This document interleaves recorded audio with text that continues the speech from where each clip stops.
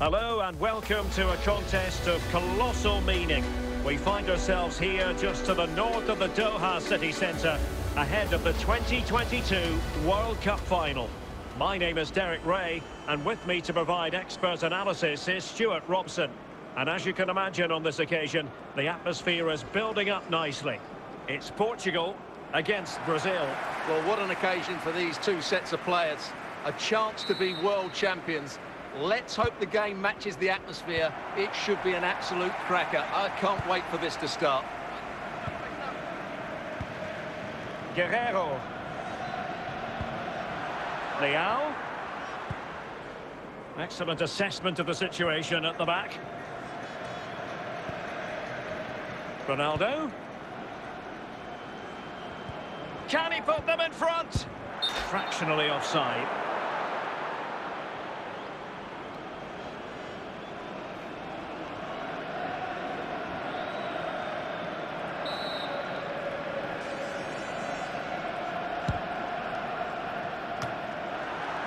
Cristiano Ronaldo.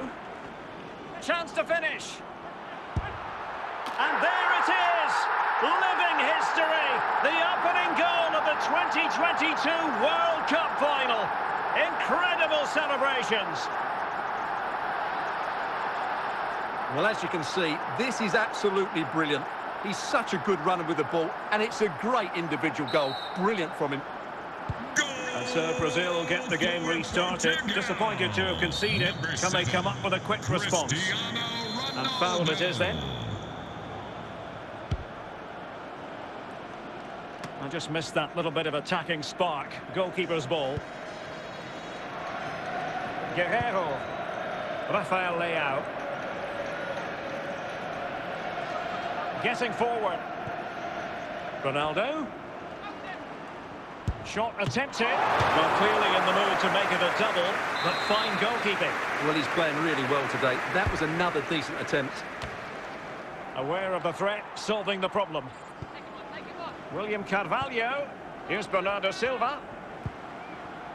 Ronaldo. Oh, big opportunity.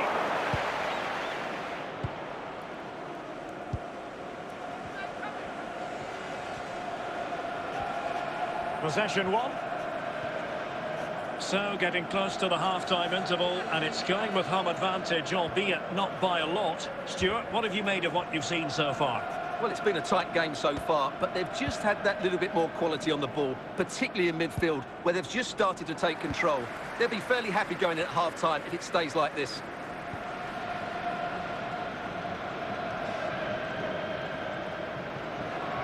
And Portugal moving the ball with purpose. Ronaldo, and a goal to increase the lead in this final. Will they be stopped now?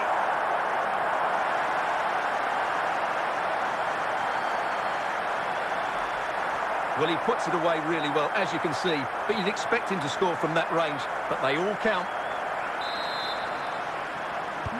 So underway once more, 2-0 the lead here. Number seven, The electronic board lets the fans know. Three minutes of stoppage time. And a tidy challenge.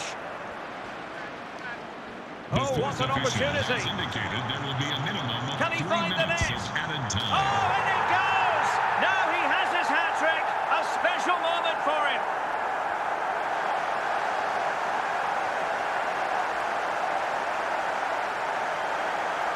Well, as you can see, he's a dangerous runner with the ball. He has such good balance and pace. That's a top-class goal, isn't it? So the action continues, and Portugal very much bossing the proceedings here. And there it is, the half-time whistle.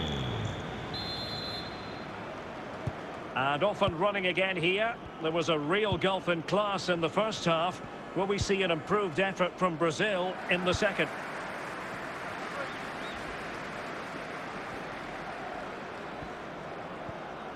Showing a real will to win the ball.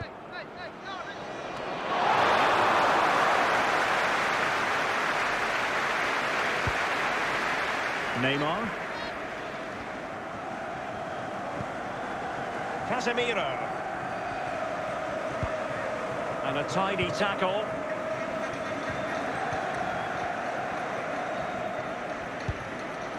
Vinicius Junior. And he's dispatched the header.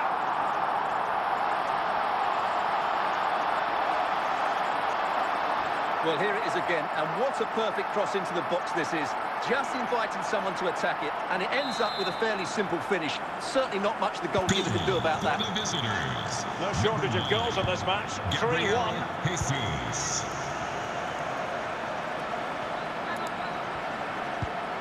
William Carvalho. Ruben Neves. Pepe.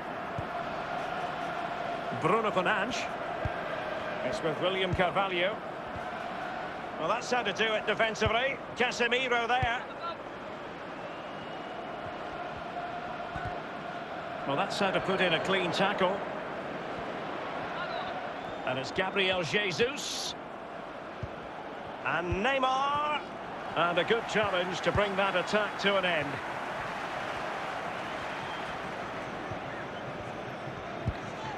And Taken away, he won the ball. Ten minutes left for play. Silva. Joao Cancelo. Ronaldo. And now they have the ball back. Well, no danger now. And it's fallen for Ronaldo. There it is! Victory more or less guaranteed now.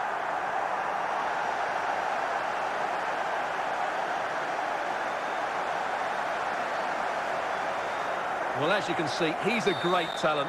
What a run, what a goal, and what a play he is. Not too much defending going on in the grand scheme of things. 4-1. And now it's all over. We've witnessed history. Portugal have won the World Cup for the first time.